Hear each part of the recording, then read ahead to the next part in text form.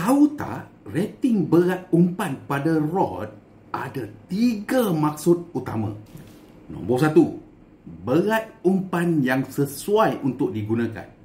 Nombor dua, rating tali yang sesuai untuk digunakan. Nombor tiga, kedalaman air yang sesuai berdasarkan berat umpan. Apa pula ni? Sebelum tu, save video ni. Ilmu ni tidak pernah dikongsi oleh mana-mana pemancing di Southeast Asia kecuali Kanejanik. Kebiasaannya, lure weight atau berat umpan pada rod, contohnya 2 ke 6 gram, memberi maksud berat umpan yang dicadangkan untuk rod itu ialah minima 2 gram dan maksima 6 gram. Tapi tahu tak ada maksud lain yang lebih penting untuk panduan kita sebagai pemancing. Dan benda ni European banyak guna. Tahu tak pemancing profesional menggunakan ia sebagai panduan penting sebelum memilih setup pancing mereka. Dulu poundage tak selalu digunakan tetapi berat gewang pada rod itu digunakan sebagai panduan paling asas untuk sesuatu rod pancing. Sebab itulah setup mancing ini sebenarnya ada pengkelasan atau bahasa mudah kita ialah kategorinya. Jadi, apa maksud lain? Nombor satu, rating poundage line. Berat umpan tadi boleh diguna pakai sebagai rating line. Contohnya, 2 ke 6 gram juga bermaksud 2 ke 6 LB untuk rod itu. Sekarang, kau nampak tak kenapa poundage rod biasanya berada sekitar berat umpan yang dicadangkan?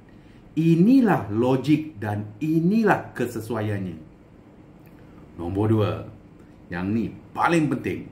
Kesesuaian kedalaman air. Berat umpan tadi juga boleh digunakan sebagai kesesuaian berat umpan mengikut kedalaman air. Ha? Mesti kau pening kan? Contohnya, 2 ke 6 gram juga bermaksud jika korang menggunakan 2 gram leo berkesesuaian untuk kedalaman air untuk umpan itu ialah 2 kaki. Jika korang guna umpan 6 gram, kedalaman air yang paling sesuai ialah 6 kaki. Kenapa dan bagaimana dapat information ni? Okey, saya tanya soal. Ikan serang sebab apa?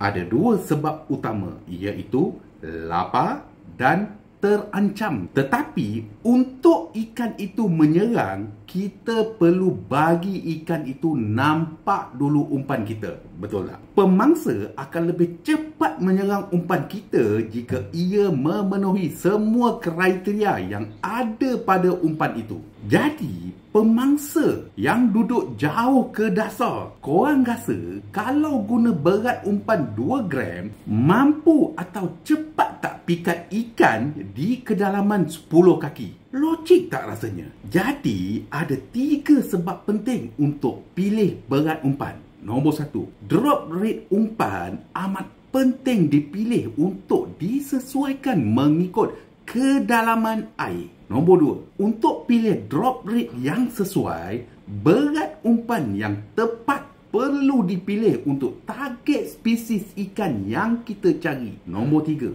profil umpan juga memainkan peranan yang penting dengan kedalaman air. Bukan bermaksud 2 gram tak boleh pakai di kedalaman air 10 kaki ya, tetapi ia kurang sesuai. Panduan ini berdasarkan pengalaman dan rule of thumb yang tidak ramai tahu berkenaan berat umpan dan kesesuaiannya berdasarkan kedalaman air. Sebab itu, ada kawan strike dulu dan ada kawan tak strike langsung. Ramai bertanya, Chen, kenapa kau asyik strike dulu eh? Korang dapat jawapannya sekarang. Tak percaya? Korang boleh cuba. Masa percubaan tu, korang perhatikan drop rate umpan berdasarkan kedalaman air dan berat umpan itu. InsyaAllah, korang akan belajar sesuatu yang sangat penting untuk meningkatkan peratus strike. Sebab itu, amat penting untuk kita pilih umpan yang sesuai dengan lokasi pancing kita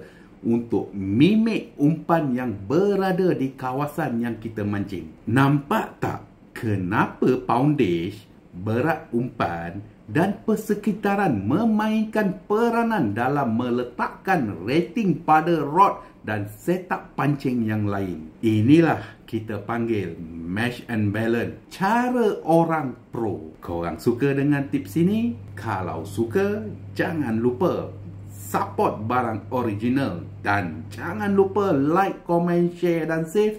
Kita jumpa lagi dalam tip pancing akan datang.